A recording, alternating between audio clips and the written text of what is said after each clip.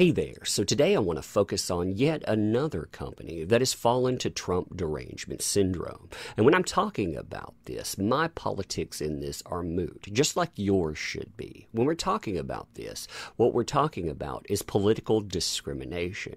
And if companies think that representing themselves this way or comporting themselves online, telling people that they need to F off because they vote a certain way or because they have MAGA in their profile, well, one day they'll decide that something something you did, that's not quite suitable for them as well.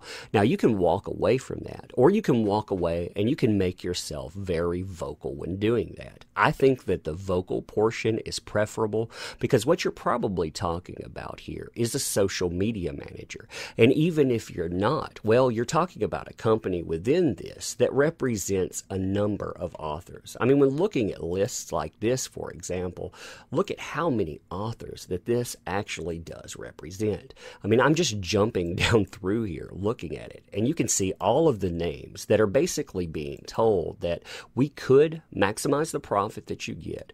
We could go out and we could act like a company should. You know, we could court the dollar. But instead of doing that, what we want to do is talk about Trump and talk about people that are not welcome here. See, I find that amazing. When you talk about how many books that they represent, how many commodities that they are supposed supposed to again maximize profit for, and yet. And that and yet, it seems to come up again and again. Now, all of this reminds me of Shadowline Comics. Now, Shadowline Comics is Image Associated. This is one of the co founders of Image. This is one of their imprints. You know, they all have their imprint out there, like Todd McFarlane does, Erik Larsen does, and on.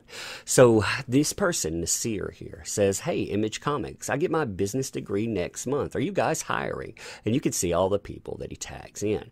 Well, Shadowline Comics' uh, social media manager decides to answer this, and this showcases not only how companies see this type of thing, but also is what acceptable there. Because what you'll have at the end of this is the CFO of Image Comics come in and tell this person basically, hey, you need to post under your own account. You don't need to post under Shadowline, but they did nothing about this guy. This guy will run this account into the ground. And you'll notice if you search for it, it doesn't exist anymore. Why? Well, you see the answer here.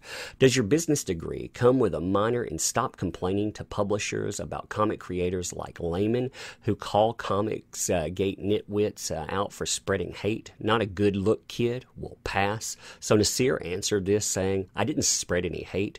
This tweet was almost also over a month old. You never considered me, but you're uh, replying now to try try and make some insult now you can see the thing with Layman here. You know, he's talking about F those Comic Gate losers, you know, while he's going and representing commodities that are associated with the image brand.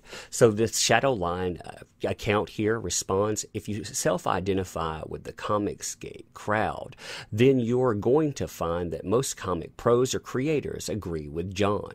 We don't need that sort of toxicity in our industry, and we're certainly not looking to hire folks like that, even with business degrees. Now, the only thing that came from this, too, is the CFO of Image Comics coming out and saying that I think maybe Mark Lombardi might want to post as Mark Lombardi or make it clear that it's Mark Lombardi whenever you post. When posting as Shadowline Comics, it does make it seem like you're tweeting in a more official capacity, and that's the only thing that came from this. Until, of course, this person keeps amplifying this and amplifying amplifying this. And of course, it destroys their social media profile. And that's what I'm wondering if it'll happen here. So, leading up to this, Hard Case Crime has apparently received a submission wherein an argument ensued, and within that argument, Trump's name came up. Now, Hard Case Crime, instead of being professional, decided that they would post part of that correspondence to show just how crazy people are. And of course, when they're doing that, it showcases a load of bias bias, which you will in turn see within this and another communication. But I thought this was very telling about where they stand. So after they posted this, they posted the word okay. You know, you can see a whole whopping 15 likes with that. So this person comes in and says, You seem to be lashing out at someone more specific than your tweet indicates. Though I did appreciate you making note of how great President Trump is doing, regardless, take a chill pill, dude. You're tarnishing the halo of brass and gun smoke that I always place over your logo. So this is somebody that's talking about them in a positive way. They're just saying, hey, why don't you chill out right now? You know, this stuff is not a good look for you. So the uh, responses to that, well, they go downhill really quickly. So Hard Case Crime responds, that was our only correspondent who uh, vote Trump's name, not us. I assure you, the only way Trump's name would emerge from our lips is as invective. Now, when you see that thrown out there, they're saying the only way we would talk about him is in an insulting way. They're going to be at least hypercritical, but more often that means in a very disparaging light, you know, probably with uh, profanity. A lot of people utilize that when they're going to go out and they're going to utilize profanity. So their response here was, wasn't the brightest move. I know I'm just a little customer. Uh, I only pick up two or three of your titles a year, so not much weight in my opinion, so no worries. Enjoy your life, guy. Should have ended right there, you know, should have actually ended in a different way. You should have had hard case crime come in and do damage control. Right here, when you have people saying, I'm a consumer, I'm an existing consumer, you should not go out and further damage stuff. But of course, they don't know that because, well, they suffer from Trump derangement syndrome. So continuing here, two or three books a year is a fine number to buy and does carry weight with us. But we get the caveat, but write MAGA in your profile and you can go fuck yourself. Now, what they're talking about fucking yourself for, you can see this person's profile. You notice right there, you can see MAGA written in. So apparently, writing that in there is a reason to be insulted. Isn't that a lovely thing? So the person responds back, back at you, guy. It's not there because I had other things I wanted to say, but I'll add it just for you. Thanks for letting me know you're not interested in business you're interested in name calling. I hate to give up reading Collins, but heck, I'll drop him a line and let him know. Hard Case Crime says, please do. Couldn't make me happier. Person responds, I will. Hopefully, he's not suffering from TDS or Trump derangement syndrome as well.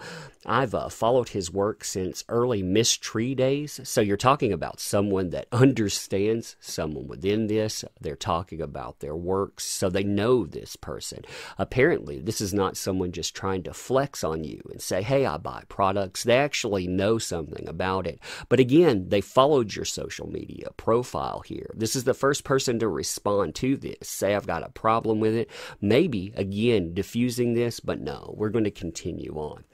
As I've said before, I didn't expect any changes, though I did expect at least a professional demeanor Ah, well, old school civility seems to be a dying art. So they come back again with some more Trump stuff. You know, don't you fucking talk about civility with us and celebrate the least civil person ever to sit in the White House. Don't even try.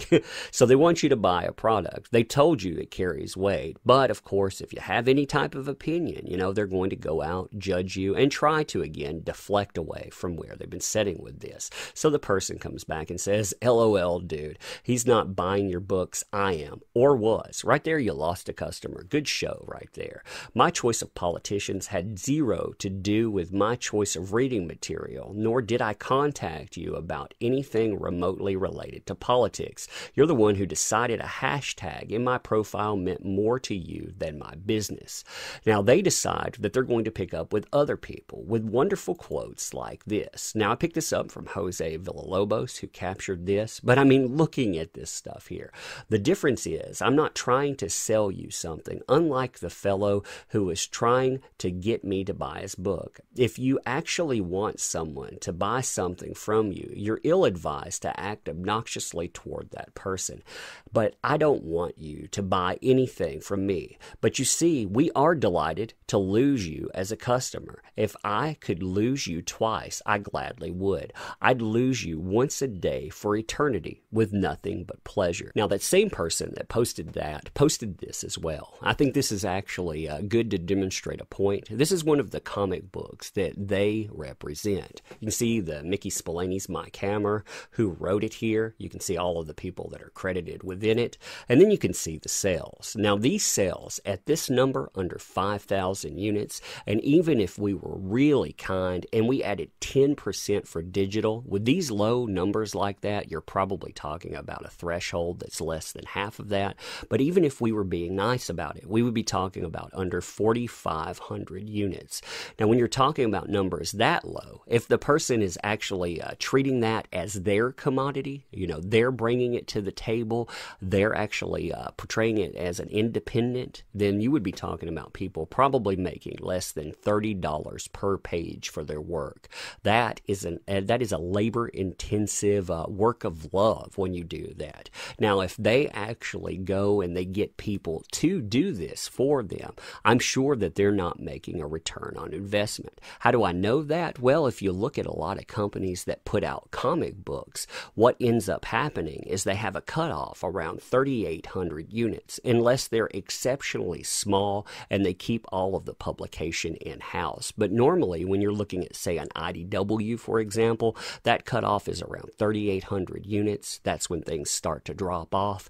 They're right there. And of course, they're telling people that might potentially pick that up, you're not welcome if. I do not like the you not you're not welcome if. You know, I find that it's telling me that one day again I will not be welcome to pick up something. So I go ahead and I say, okay, I'm going to cut this off now because if you don't understand professionalism, well, I don't have time for you. You know, I have to go and I have to do this in my own personal life. So why would I want to interact with something during my escapism that tries to put rules to that when the only rule again should be my money is green it's not counterfeit. If you want it, well, you know, you need to earn it. But anyhow, tell me what you think about this kind of stuff. This wasn't their only thing out there, too. This is what I chose to highlight within it. If you want to check them out, there's plenty there to go check out. But, you know, I'm I'm sure that they're probably going to delete some stuff later on. So again, you know, if you don't like this kind of stuff, tell them politely, but still tell them that you don't appreciate this type of stuff,